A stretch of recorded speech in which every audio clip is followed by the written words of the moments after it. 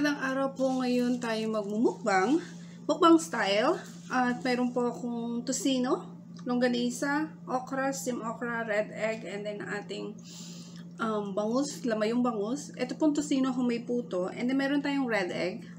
Ayan, hindi pa siya totally ready. 10 days pa, ka, 10 days pa siguro ang ano nito bago ito mag-oil. Meron tayong eggplant ko nasabi ko na. And then meron tayong sasawan, alamang, and then yung toyo mansi. And then, um, ito po, may sinangag tayo. Dahil ilang days po kung hindi ng maayos. Piga muna tayo ng lemon. At mayroon po tayong coffee. Yan. Kain po tayo. Ilang days nga po pala akong hindi ng maayos dahil sa trabaho. Yan. Sawa natin yung ating Ayan po, oh, bagong at okra. Mm.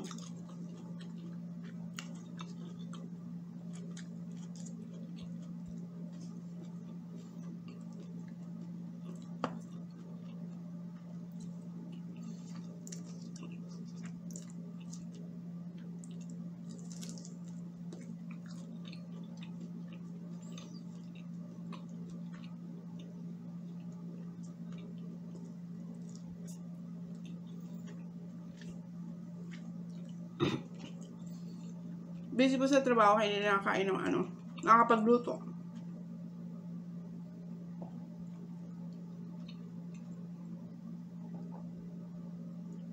Puro mga tira-tira, okay naman. Para maubos yung mga tira. Pero kung minsan, maghanap ka talaga ng ano, masarap na pagkain. Pero po dapat akong ano, um, kabos ng kamote, nabili ko sa Asian store. Kaso, 4 days na siya sa fridge. Hindi ko naluluto dahil sa, sa trabaho nga. Nag-brown na siya. Sayang. Hmm? Ang sarap po ng tosino. Hindi siya ganun katamis.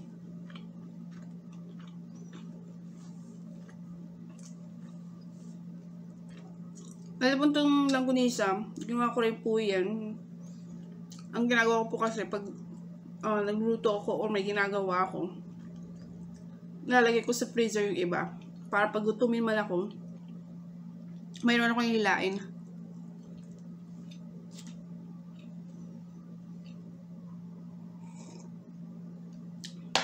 Hindi ko ba alam ba't di ko ginawa to sa Pinas nung nandun po ako. Mas masarap. Lahat sariwa.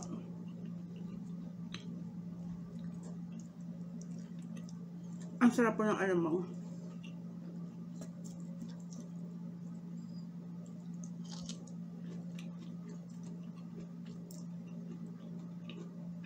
Ano po to alamang na binayo tawag nila?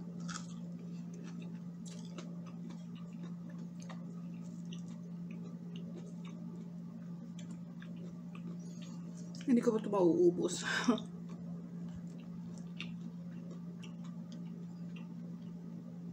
Ang gusto ko sa tosino yung maraming taba. Ayan po. Oh. Mataba.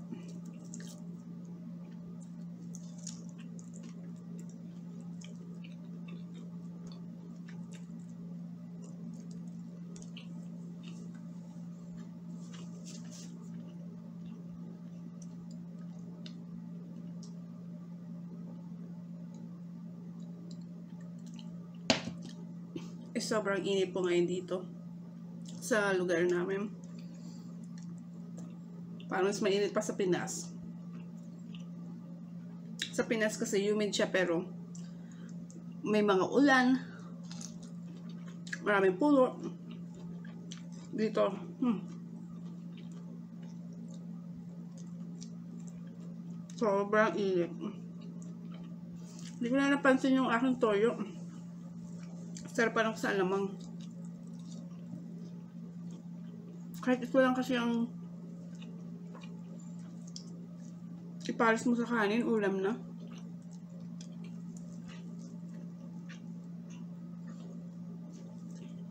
Kagabi po kasi ako, hindi ako nag-kumain na maayos. Nain ko lang ano, balot yata yun. Ay, pagising ko, nagutom na gutom ako.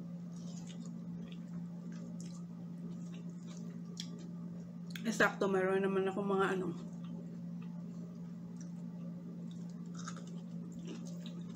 iba't ibang klaseng pagkain ng almusal.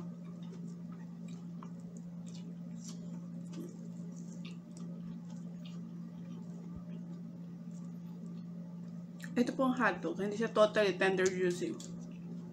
Pag okay lang. Ewan ko po pagdating na dito, iba na yung lasa.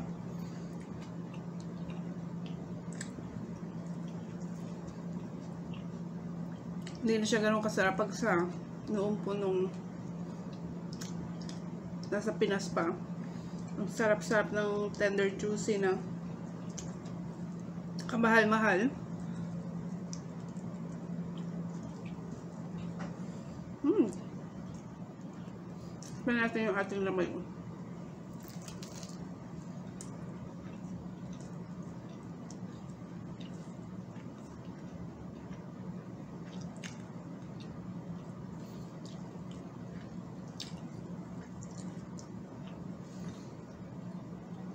Masarap po kumain pag may kasama kaso.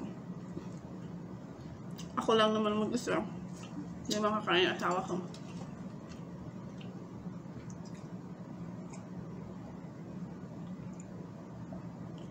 Titikim lang yan. Masarap ng okra. Hanap pala dinamihan ko.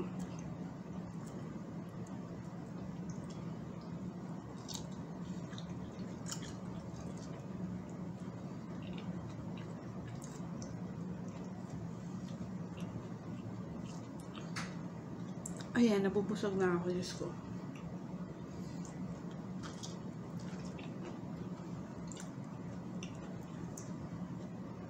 Sayang, pigan pa natin ang ano. Lemon.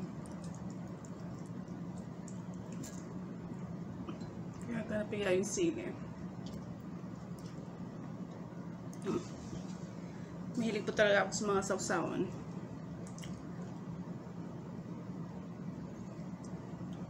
Kahit ano. Tapos may sausaw, pampagana.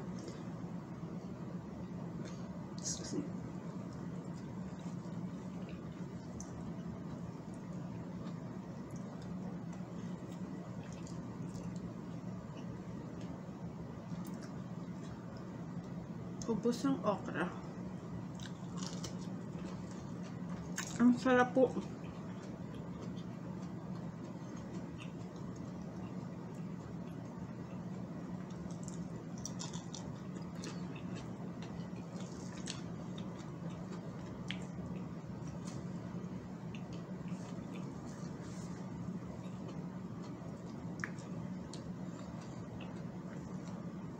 Masarap din po yung ano, kinisang bagoong. Tapos kanin lang na mainit na kanin ng paparas niyo. Ay, Diyos ko. Kasarap. Gusto ko lang pa sa red egg yung dilaw. Tikman natin. Mm, hindi pa siya ready. Hindi pa siya ganun kaalat.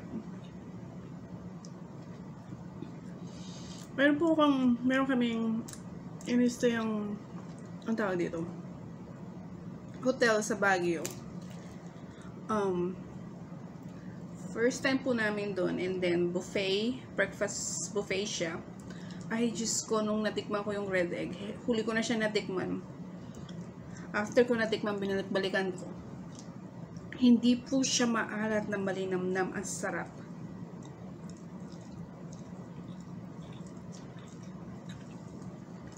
Sinubukan ko makiusap na kung pwede bumili ng red egg. Ala, sabi ba naman ng staff?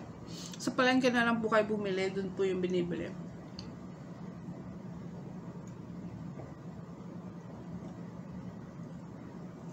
Tatlong beses yata kami nag-stay doon, ang dalawa, dahil lang doon.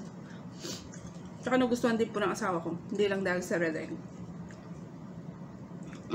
Ang sarap po ng pagka gawa ng red egg nila. Salted egg.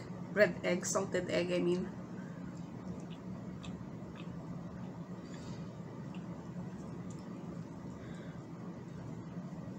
Tapos nung nasa Puerto po ako, nakahanap ako ng masarap din na salted egg. Ganun na ganun. Eh, nagustuhan din ng mga kapatid ko. Ewan ko po pag nasa ano ka na, pag nandito ka, marami kang gustong kainin, pero pag nandun ka na, di mo naman na makain dahil sobrang busy. Hindi po masarap yung hotdog. Ko alam. Mahal-mahal pa naman yan.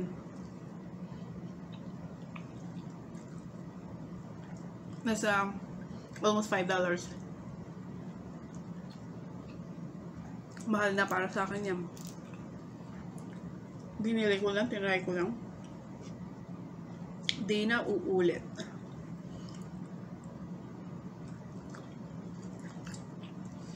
Ayan, busog na po ako. Nakain ko ng kalating kanin ko.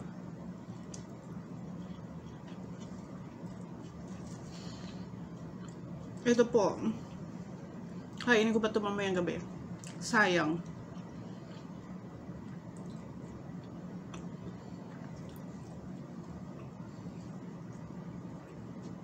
Yung mga pwede pang isave.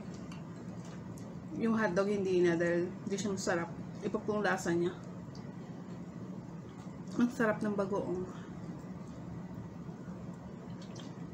Hmm. Malinam po siya.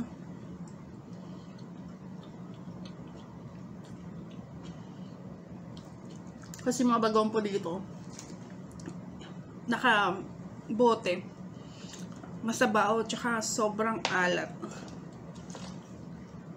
Kaya pag umuwi po, talagang nagdadala ako. Pero, niluluto ko muna po para hindi ganun ka maamoy. Dahil kada bukas ko dito, nagko-complain yung mga tao, dis, mga tao kasama ko dito. Paho daw.